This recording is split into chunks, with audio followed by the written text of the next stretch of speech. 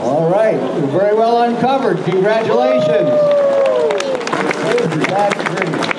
Our cabinet of shells, the first set of murals for the city of New London.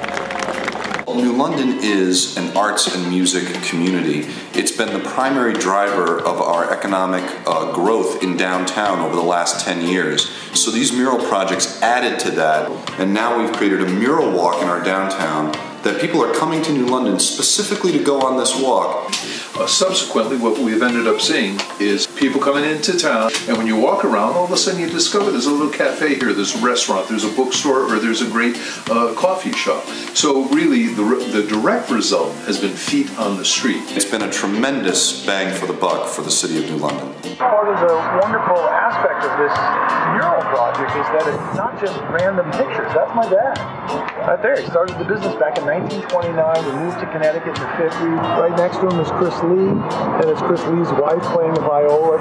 As you go down the end, Dwight Baldwin, who's really a local legend as a percussionist. Uh, so really, again, if you think about it, here's a project that isn't just abstract. This is art that ties to the community. That's pretty powerful stuff. What I'm seeing on the other side of all the hard work that everybody went through to make this happen was taking areas that were housing amazing um, businesses, but you didn't get that feeling of, of, of prosperity and, and creativity um, from their exterior uh, walls. Pre mural, they were just walls. They were just gray, flaky. There was nothing about them that made people slow down or view anything. It was zoom, zoom, zoom.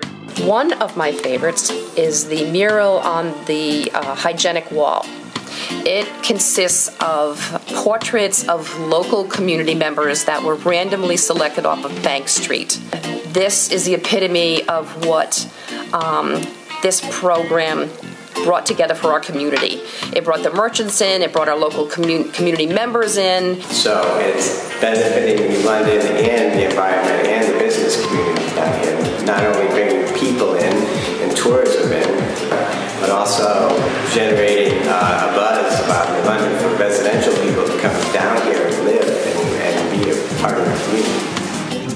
Well, it connected the spine of the downtown It makes our thoroughfare like a creative highway right through the heart of our city. What I've heard from the business owners about the murals is that they absolutely love them. They think they're beautiful, they're inspiring, and they have seen an increase in the number of people walking around and looking into their shops and coming into their shops. So, what more could they ask, really?